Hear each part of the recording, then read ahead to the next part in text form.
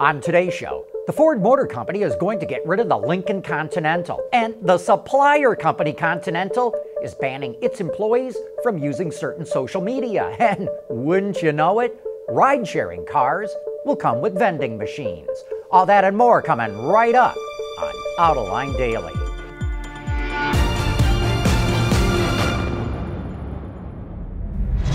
This is Autoline Daily, the show for enthusiasts of the automotive industry.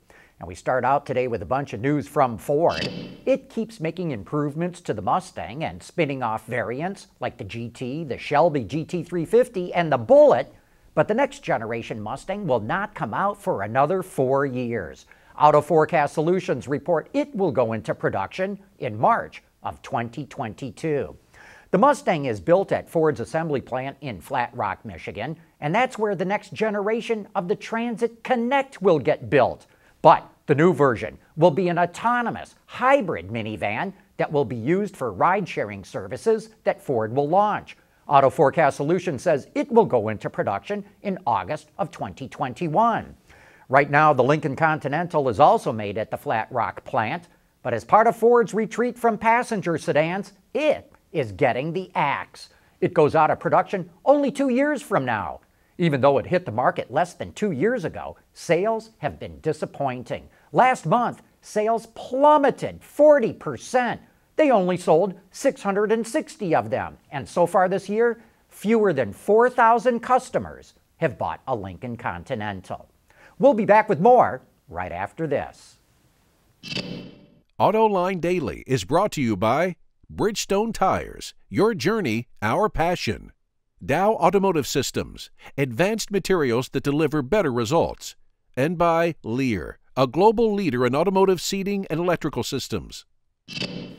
Next year, China is mandating that 10% of all vehicles sold in the country have to be plug ins or electrics. In 2020, the mandate rises to 12% and keeps on ramping up after that. Automakers are scrambling to try and meet that mandate. General Motors, along with its joint venture partners SAIC and Wuling, announced they will introduce 20 new energy models by 2023. Audi says it will locally produce five electrified vehicles by 2022. But not all automakers are jumping headfirst into the EV market. Smaller automakers like Subaru and Mazda are holding back. While Subaru of America will introduce a plug in version of the Crosstrek, CEO Tom Doll tells Bloomberg they're going to let other automakers develop the market for battery electrics before they jump in. Same with Mazda. It's going to rely on its spark controlled compression ignition engine called Skyactiv X, but it does have EV plans in the pipeline. And you may remember that Mazda, Toyota, and Denso all formed a new company that will focus on developing EVs. We've reported on Audi's Matrix LED headlamps in the past, and now lighting supplier Hella is showing off the latest generation. One cool new feature is predictive dimming. If a car puts on its turn signal to change lanes, the headlamps will black out the next lane over. There's also a segmented cornering light that can spread light out an additional 90 degrees in a turn. And the Matrix headlamps now feature a laser that can send out a much more intense beam much further within the LED lighting field. Hella shows how this could be used to light a curve in the road far ahead of the vehicle. Apple says its new iOS 12 software will let Apple CarPlay use third party navigation apps. Previously, the only navigation software available with Apple CarPlay was Apple's own Apple Maps.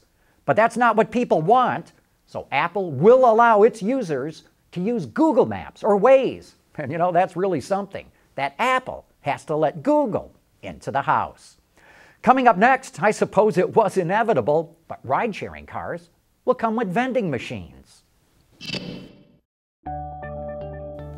Lear Connexus is the new application suite in vehicle connectivity designed to deliver over the air software updates and more from Lear Corporation's e systems, leaders in power and data management.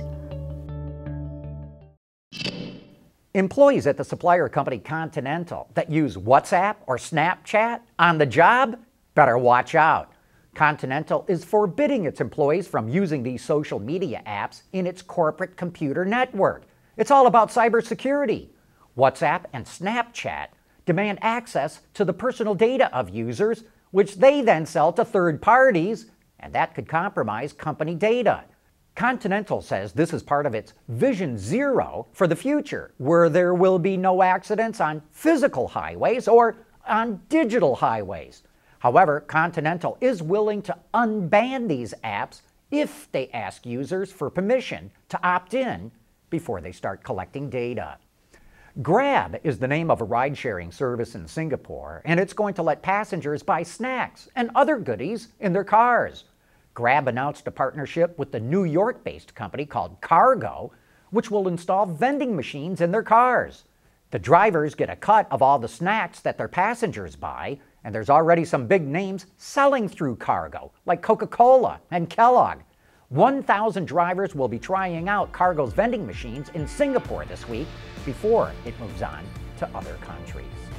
And that wraps up today's report. Thanks for watching, and remember, we'll be back here tomorrow.